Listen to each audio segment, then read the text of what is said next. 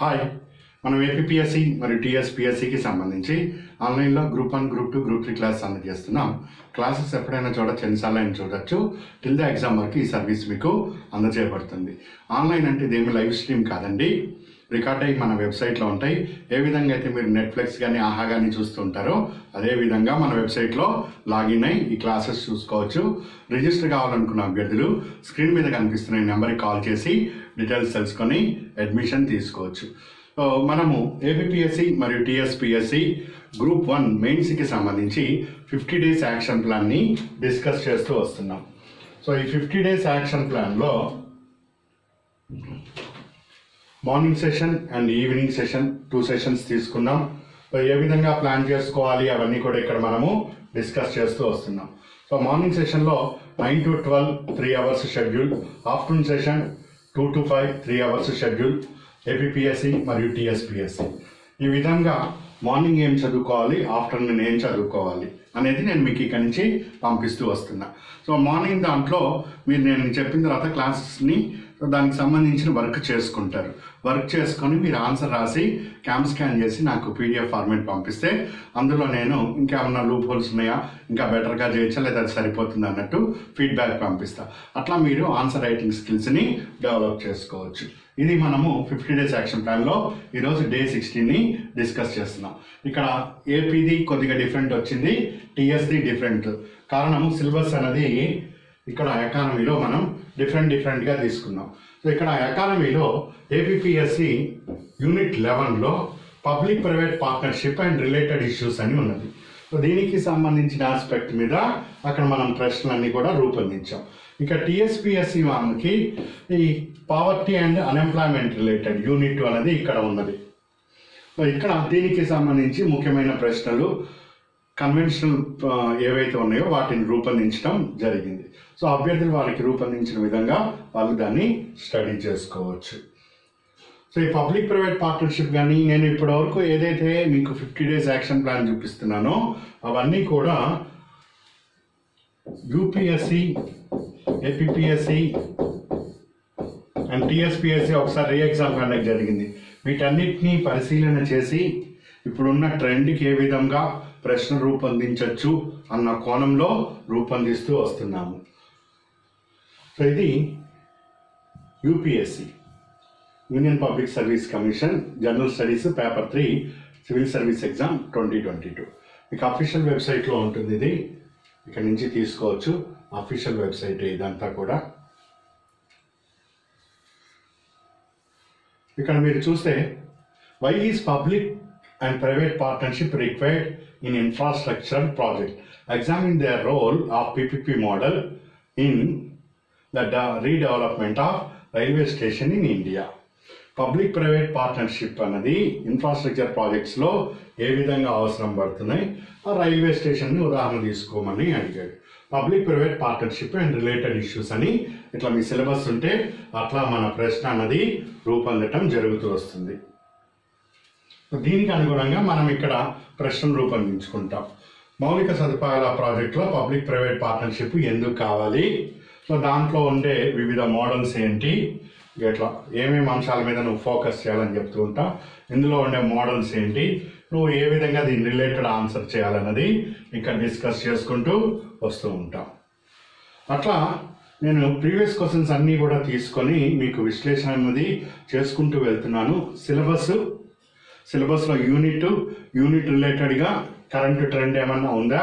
Exam హాల్లో మీకు ప్రశ్న చూడగానే కొత్తగా అనిపిస్తుంది. సో కొత్తగా అనిపించినప్పుడు మీరు కంగారు పడకుండా ఇప్పుడు మీరు ఏదైతే హార్డ్ వర్క్ చేశారో దాంట్లో ఉండే ఆ పాయింట్స్ అన్ని చక్కగా రీకాల్ చేసుకొని చేస్తే తప్పనిసరిగా సక్సెస్ అవుతారండి.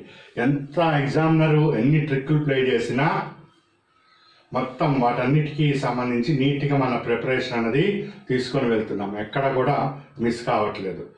అభ్యర్థి కొద్దిగా లిటిల్ బిట్ ఆయన బేసిక్స్ని కరెక్ట్గా పట్టుకున్నాడంటే తప్పనిసరిగా మంచి జాబ్లో ఉంటారు మీరు.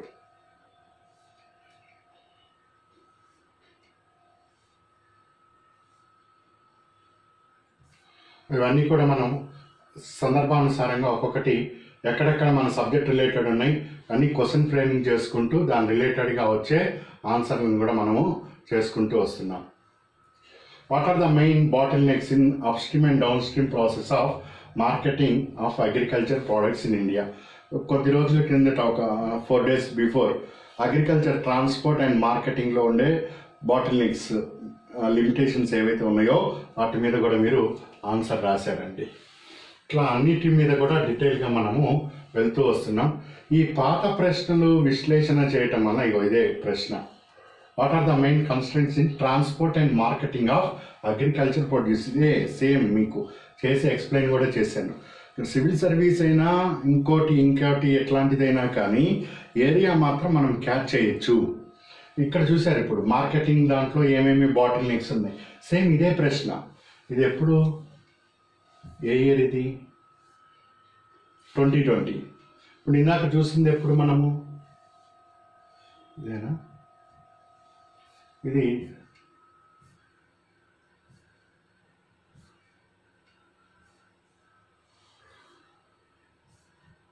Twenty twenty two. చూడండి ఏరియాస్ని మనము క్యాచ్ చేయడానికి అవకాశం ఉంటుంది. ఇట్లా మనము వర్క్ చేసుకుంటూ ఉండాలి. అలా చేయటం వలన మనకు ఏదైతే ప్రిపరేషన్ మెథడ్ ఉంటుందో ఆ ప్రిపరేషన్ అన్నది ఎగ్జామ్ హాల్లో ఇన్స్టెంట్గా వచ్చే ప్రశ్నల మీద ఈజీగా మనము ఆన్సర్ చేయగలుగుతాం. Challenges and opportunities in food sector ఇచ్చాడు. ఇవన్నీ కూడా ఇంకా మనం చేస్తామండి. ఇంకా మనకు ఇది కూడా మీరు రాశారు. Different discuss different types of cyber crimes and measures required to be taken to fight these issues cyber crimes ఎన్ని రకాలుగా ఉంటుంది డిఫరెంట్ టైప్స్ ఏంటి ఏంటి అవన్నీ కూడా అభ్యర్థులు అంటే చాలా రకాలు ఉంటుంది.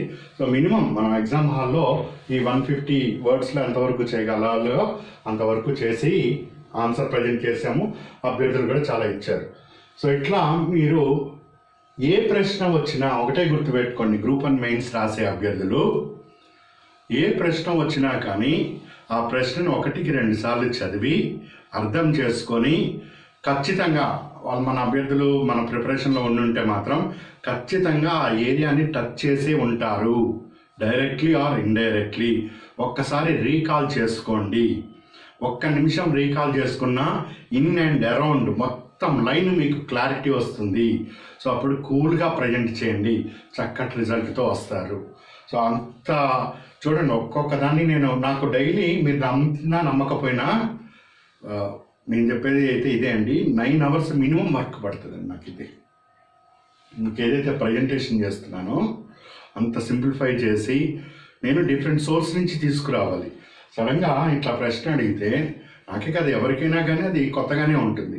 సో అభ్యర్థి ఎగ్జామ్కి వెళ్తున్నప్పుడు అతనికి కావాల్సిన బేసిక్ ఇన్ఫర్మేషన్ అంతా డిఫరెంట్ డిఫరెంట్ సోర్స్ అన్నిటిని ముందు పెట్టుకొని మిశ్రాన్ పూరి కానీ దత్తన్ సుందరం కానీ అఫీషియల్ వెబ్సైట్స్ కానీ మీకు చూపిస్తూ కూడా ఉంటాను నేను ఈ వెబ్సైట్లో తీశానని. తీసి ఒక కన్సైజ్ చేసి మీకు ఇస్తున్నాను. So eight to nine hours me work minimise అవుతుంది అండ్ ఏం రాయాలో చాలా స్పష్టత అన్నది వస్తున్నది ఇక్కడ. చాలా అభ్యర్థులు చాలా యూస్ఫుల్గా అవుతుంది వాళ్ళ నుంచి ఫీడ్బ్యాక్ చాలా యూస్ఫుల్ అవుతున్నదండి ఫ్రాంక్గా చెప్పాలంటే. సో ఇంకాస్త ఇప్పుడు మనము డే సిక్స్టీన్లో ఉన్నామండి. ఇంకా ఇంకా మనము ఫిఫ్టీ డేస్ వరకు చేస్తాం కాబట్టి పర్ఫెక్ట్ పిక్చర్ అనేది వస్తుంది. కన్ఫామ్గా జాబ్లో ఉంటారు. అంత పర్ఫెక్ట్గా మనం ఇక్కడి నుంచి ఇన్పుట్స్ ఇస్తున్నాం. సో కొద్దిగా మీరు చేయాల్సింది కొద్దిగా లిటిల్ బిట్ చేయండి. ఒకవేళ ఇక్కడ నేను ఏదైనా రిపీటెడ్ క్వశ్చన్ అనిపిస్తుంటే నేను ఈ ప్రశ్నలు తీయటం కూడా చాలాసేపు పడుతుంది నాకు. ఏ ఏరియాలో ఇట్లా ప్రశ్నలు పాత ప్రశ్నలు ఏమున్నాయి? ఈ టాపిక్ మీద ఫర్ ఎగ్జాంపుల్ నేను చూపించాను ఇక్కడ. ఈ- పబ్లిక్ ప్రైవేట్ పార్ట్నర్షిప్ దీని మీద నేను ప్రశ్న చేయదలుచుకున్నా. ఎట్లా చేస్తాను ప్రశ్న? గతంలో దీని మీద ఎట్లాంటి ప్రశ్నలు వచ్చినాయి? ఈసారి ఎట్లా రావచ్చు? అని నేను ఇవన్నీ చూసుకొని దాని మీద ఇట్లా ప్రశ్నలన్నీ కూడా రూపొందించుకుంటూ వస్తున్నాను. సో ప్రశ్నలు తీసి దానికి సంబంధించి వర్క్ చేసుకొని దానికి సంబంధించి ఇవన్నీ కూడా eight to nine hours minimum time ఇది. సో అంత వర్క్ మీకు వస్తుంది. అండ్ కొంతమంది అభ్యర్థులు చాలా క్వశ్చన్ ఫ్రేమింగ్ కూడా కష్టం అండి క్వశ్చన్ ఫ్రేమింగ్ కూడా చేసుకోలేకపోతున్నారు. అవి కూడా ఇక్కడ నుంచి వస్తున్నాయి మీకు. సో చక్కగా ఉపయోగించుకోండి ఆన్సర్ ప్రజెంట్ చేయండి. సరే ఇక్కడ ఒక్కొక్క పాయింట్ డిస్కస్ చేద్దాం. ఇంకేమన్నా మీకు exam point of view important అనిపిస్తే అవి నేను కమ్యూనికేట్ చేస్తూ ఉంటాను. Clear and one more thing అభ్యర్థులకి చెప్పదలుచుకున్నది మీరు ఆన్సర్ రాస్తున్నారు. రాసిన తర్వాత చక్కగానే ఉన్నది. దీనికి టైము లెవెన్ మినిట్స్ అని లెవెన్ ట్వెల్వ్ మినిట్స్ అని ట్వెల్వ్ మినిట్స్ పడుతున్నదని ఒక ten hour ten minutes fifty seconds పడుతుందని నీట్గా ఇస్తున్నారు పర్ టైం టేకింగ్ పర్ క్వశ్చన్కి. దీంతో పాటు ఇంకొకటి కూడా ఇవ్వండి ఈసారి నుంచి. మీరు ఆన్సర్ని చూడగానే ఇప్పుడు ప్రశ్న వచ్చిందండి. ఈ ప్రశ్న చూడగానే నువ్వు క్యాలిక్యులేట్ చేసుకుంటావు రఫ్ వర్క్ ఆ రఫ్ వర్క్ ఎంతసేపు పడుతున్నది? అంటే దీనికి ఆన్సర్ రాస్తే నాకు మామూలుగా ఇప్పుడు సడన్గా ఈ ప్రశ్న రాసామంటే రాదు అది కానీ దీని మీద నేను నా క్లాస్ విని ఇంకా మీరు ఏమన్నా వర్క్ చేసుకొని దీని మీద ఒక వన్ అవర్ వర్క్ చేసిన తర్వాత మీరు ట్వెల్వ్ మినిట్ పడుతుంది అన్నారు. ఈ వర్క్ ఎంతసేపు పడుతున్నదో అది ఆలోచించుకోవాలి మీరు. ఇప్పుడు వర్క్ చేసిన వాళ్ళు ఎంతసేపు పడుతున్నది ఆ వర్క్ అని. ఇప్పుడు పదహారవ ప్రశ్న దగ్గర ఉన్నప్పుడు ఒక ప్రశ్నని చూస్తే ఒక గంట సేపు పడితే మీరు ఇరవై ఆరో ప్రశ్న దగ్గరికి వెళ్ళిన తర్వాత ఈ సమయం అన్నది కొద్దిగా తగ్గాలి. ముప్పై ఆరో డే దగ్గరికి వెళ్ళిన తర్వాత మరి కాస్త తగ్గాలి. నలభై ఆరో డే దగ్గరికి వెళ్ళిన తర్వాత మరి కాస్త తగ్గాలి. అలా తగ్గుతూ పోతుంటే ప్రశ్న చూడగానే ఎస్ ఈ పాయింట్లు సార్ దాంట్లో ఉంటే ఈ పాయింట్లు నేను ఆన్సర్లో పెడతాను ఖచ్చితంగా అనేది నీ మైండ్ క్యాలిక్యులేషన్కి రావాలి. దాని తర్వాత నా క్లాస్ ఉన్న తర్వాత కూడా దగ్గర దగ్గరగా ఆ పాయింట్స్ నీకు మ్యాచ్ అవుతున్నాయి అంటే ఎస్ నీ క్యాలిక్యులేషన్ ఇవన్నీ పర్ఫెక్ట్గా ఉన్నాయి. ఇంకా ముందుకెళ్ళి కంపల్సరీ మనము టాప్లో ఉంటాం అన్నట్టుగా మీ వర్క్ చేసుకోవచ్చు. అట్లా ఈ వర్క్ని కూడా కొద్దిగా లిటిల్ బిట్ ఎక్సర్సైజ్గా చేస్తురండి మీకు ఆన్ ఆన్ యావరేజ్ టైం ఎంత పడుతుందండి? ఎగ్జామ్ హాల్లో టైం మేనేజ్మెంట్ చాలా ఇంపార్టెంట్. టైం మేనేజ్మెంట్ తెలవకే చాలా మంది తెలిసిన అంశాలు కూడా ఎగ్జామ్లో రాయలేకపోతూ ఉంటారు. ఇవన్నీ చెప్పుకోవాలండి అభ్యర్థులకి ఇది నా బాధ్యత. సో మన అభ్యర్థులనే కాదు ఇంకా వేరే అభ్యర్థులు కూడా బెనిఫిట్ పొందితే వెల్ అండ్ గుడ్. సో ఇవన్నీ చెప్పుకుంటేనే అభ్యర్థులకి తెలుస్తూ ఉంటాయి ఎక్కడ లూప్ హోల్స్ ఉన్నాయి ఎక్కడ ఏమి ఆలోచన విధానం కానీ ఇవన్నీ కూడా. సో ఇట్లా మీరు వర్క్ చేస్తురండి ఈ టైం డ్యూరేషన్ తగ్గుతూ రావాలి ఇది మన టార్గెట్ కూడా అయి ఉండాలి.